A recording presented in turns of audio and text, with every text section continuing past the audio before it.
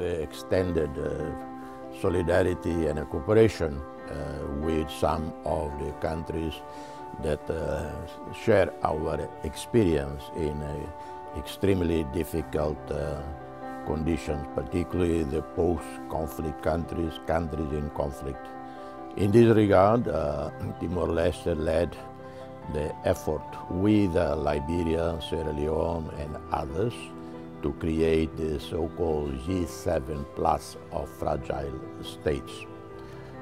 Tremendous commonality uh, from uh, security, social, economic, financial conditions.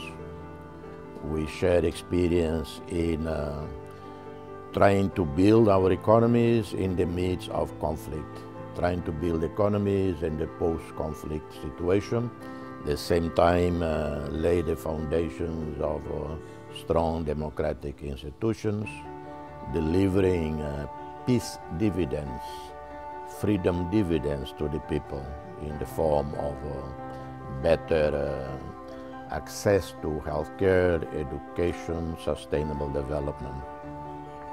So as part of uh, our ongoing partnership with the UNDP, the Parliament of Timor-Leste and Sierra Leone, we are trying, we are leading the effort in establishing the Parliamentary Assembly of the G7 plus uh, countries.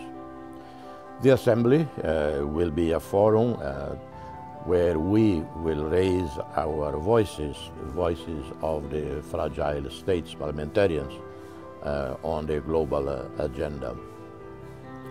Uh, the UN uh, Office for South-South Cooperation is also developing uh, a knowledge sharing platform known as South-South Galaxy.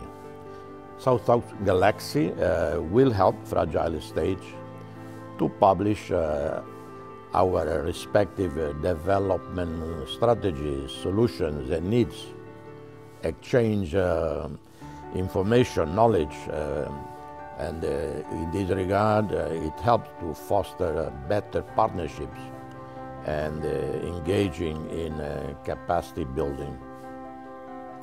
It will also host the G7 Virtual Secretariat, which will be a testament to the development successes of uh, Timor-Leste.